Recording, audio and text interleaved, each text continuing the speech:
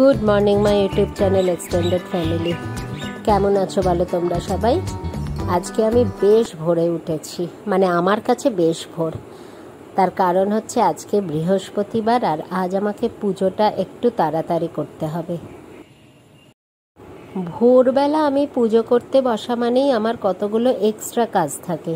যেমন বাসি ঘরটাকে পরিষ্কার করে ঝাড় দিতে হয় নিচটা ধুয়ে দিতে হয় মানে নিচের গলির দিকটা ধুয়ে দিতে হয়, যেগুলো হয়তো দেরিতে পুজো করলে মাসি এসে যায়, মাসি করে দেয়।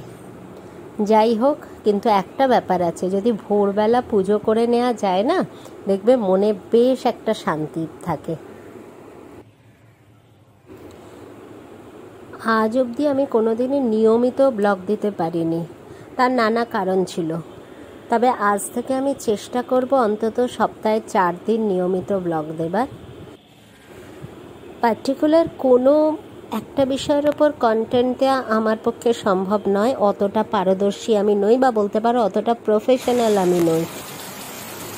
আমি প্রচুর ইউটিউবার যারা খুব ভালো ভালো টিপস দেন, খুব ভালো ভালো কন্টেন্ট রেডি করেন, তাদের অনুসরণ করি, কিন্তু অনুকরণ করি না। এটা আমার একদম স্বভাবেই নেই।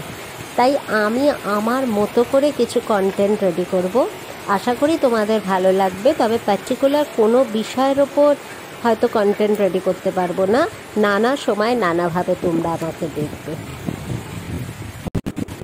আজকে যেহেতু বৃহস্পতিবার, রান্নাবান্নার খুব একটা ঝামেলা নেই, আর ভোরে উঠে পড়েছি আমি একটা এশিয়ান পেন্টসের টাচুট কিনেই রেখেছিলাম, এই শেলফটা রং করব বলে। এটা বহু বছরের পুরনো, কবেকার জানি না। মানে আমার বাবা বলতেন, তিনি নাকি জ্ঞানত দেখে আসছে।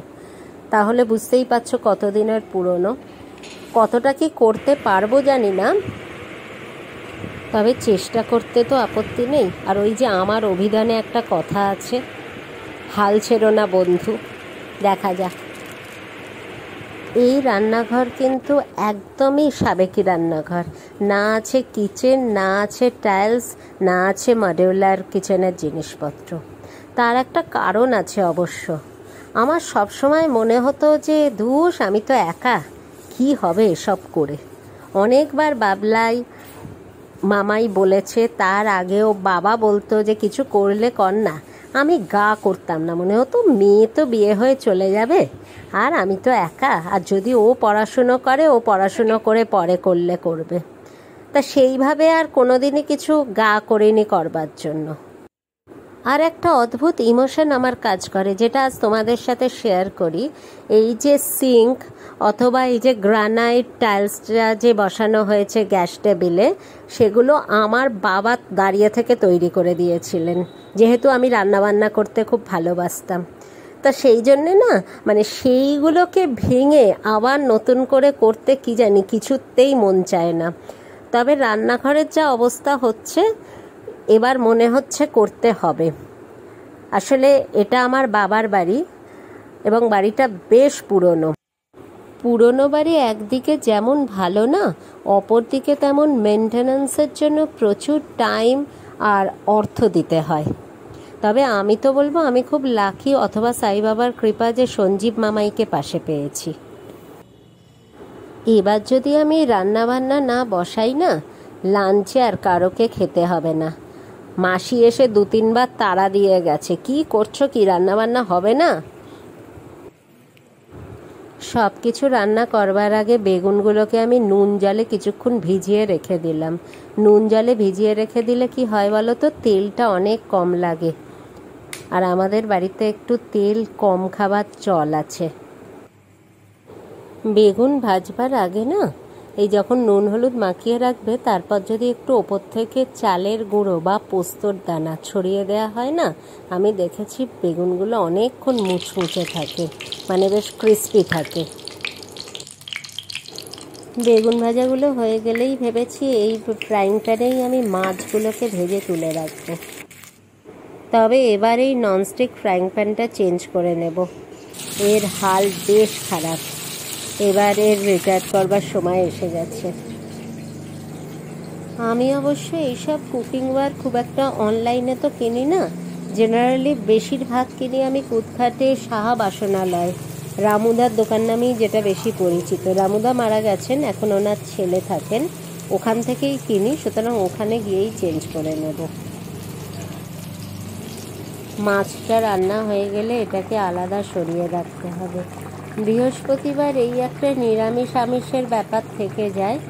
আর নিরামিষের মধ্যে আমি লাউয়ের তরকারি করব, কারি পাতা দিয়ে। আর পালং শাক দিয়ে ডাল।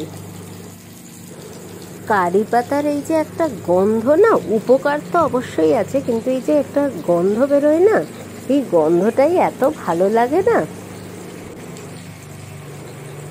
তোমাদের সাথে কথা বলতে বলতে আরও দুটো জিনিসের আবদার এসে গেছে কিন্তু একটা হচ্ছে আলু পোস্ত। আমাকে মামাই বলল, মামাম, বৃহস্পতিবার আর আলু পোস্ত হবে না, এটা কি হয় বলো? আর আর একটা হচ্ছে কাঁকরোল ভাজা।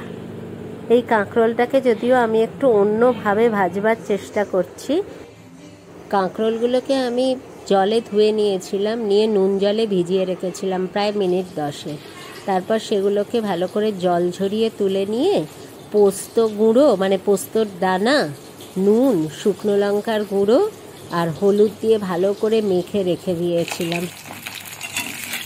আর এর সঙ্গে যেটা মাস্ট দিতেই হবে সেটা হচ্ছে কর্নফ্লাওয়ার কর্নফ্লাওয়ার পোস্তর দানা, শুকনো লঙ্কার গুঁড়ো, নুন আর হলুদ দিয়ে ভালো করে মেখে নিয়ে মিনিট দশেক বাদে ভেজে নেবে।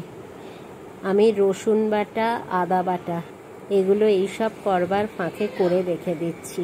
এটা মোটামুটি আমার দিন দিনের চলে যাবে। ফ্রিজে ঢুকিয়ে রেখে দেবো।